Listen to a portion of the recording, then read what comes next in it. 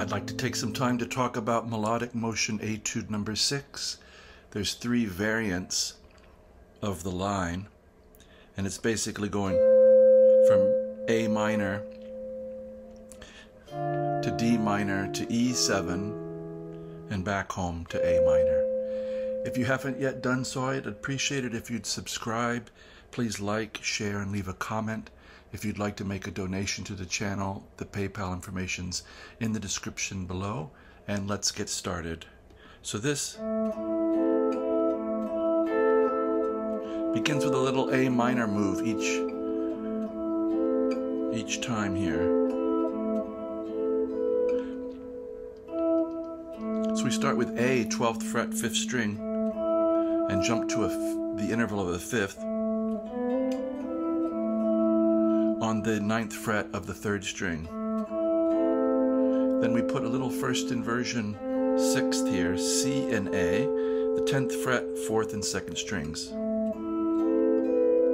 and a melodic pitch above. So 12, 9, 10 and 10, 12 on the second string.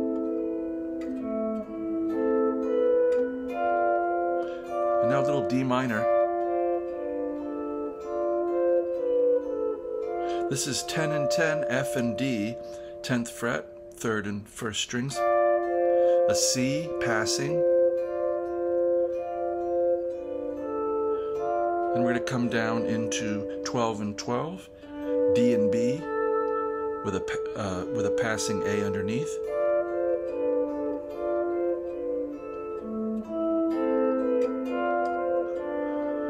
And now a little E7. So here's B and G sharp, 9 and 9 on strings 4 and 2. A little melodic walk up of half step, whole step, 9, 10, 12, G sharp, A, B. And when we land on B, we're going to have this G sharp breakout. So a 10th interval here between the 5th and 2nd strings, 11 and 12th frets. Then we're going to walk up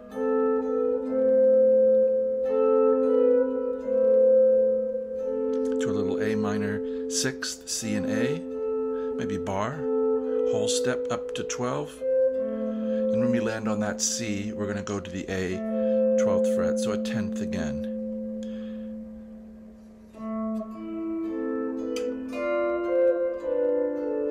Bar, extend to the 10th, up, and A. So we end up with 10 and 10, 12, 13, and when we go to C on the 13th fret, we have A in the bass. So that's the first variation. Now we're just going to shift the bass notes around. Same line, but slightly different bass line and in a different register. So we're starting out the same. 12, A, E, third string, ninth fret, and coming up to B. C and A up to B. And now we have first inversion D minor, 8 and 10 on strings 5 and 1. F and D with a C underneath. Walking down to the root D of a D minor chord. So 8 and 10, 8 and 8, 5 and 7, down to 5. B and A.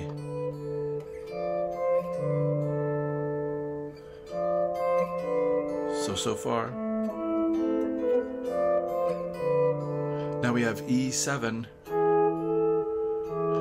E and G sharp, 7 and 9 on the 5th and 2nd strings. Up a half step, neighbor above is A. And we're going to grab first inversion E down here. Fourth fret and seventh fret of the sixth and first strings, G sharp and B.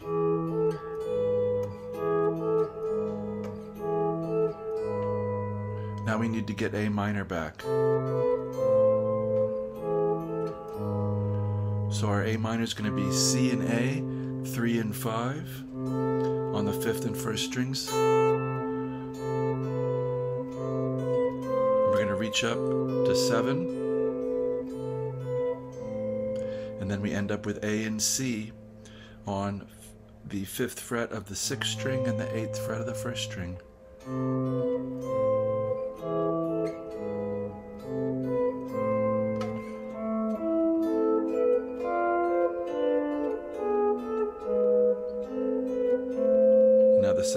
And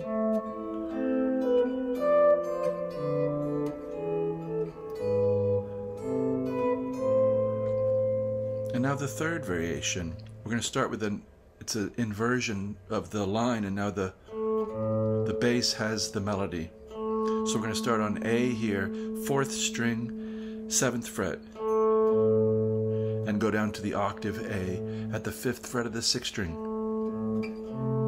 and immediately jump first inversion A minor. C is in the bass. Eight and seven. And we're going to pass from A to B melodically, 7th to ninth fret, 4th string. And right where we are, we're going to get first inversion D minor. F and D, frets 8 and 7.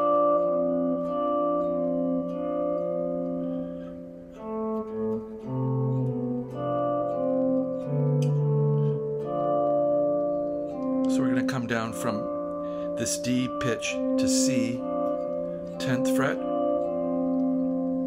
So F and D with a C passing.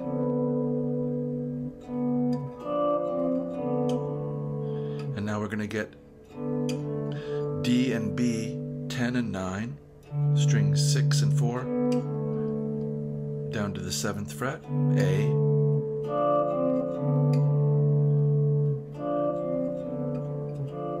just even practicing that much can really open doors.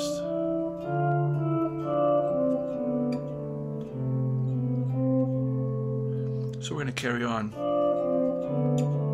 And now, B in the bass, G sharp in the upper voice, 7 and 6. This is an E7 chord in second inversion. That means the fifth is in the bass.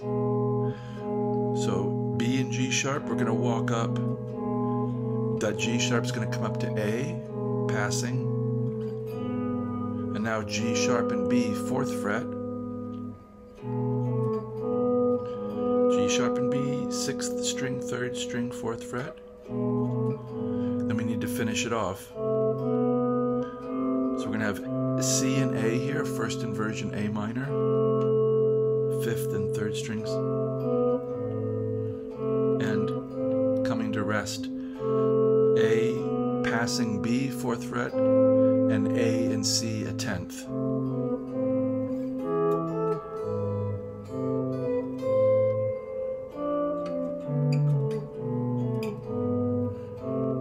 So we have a couple of different endings there in the low register.